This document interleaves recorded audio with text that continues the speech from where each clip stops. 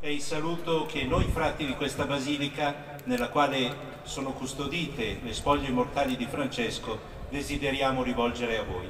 Il Signore vi dia pace. San Francesco amava chiamare tutti e ciascuno fratello e sorella. Penso allora che non vi sia un luogo più appropriato di questo per iniziare il G7 Inclusione e Disabilità, in cui vogliamo insieme riaffermare che ogni uomo e ogni donna, ogni fratello e ogni sorella deve poter realizzare pienamente la propria unicità e vedere riconosciuta la propria dignità di persona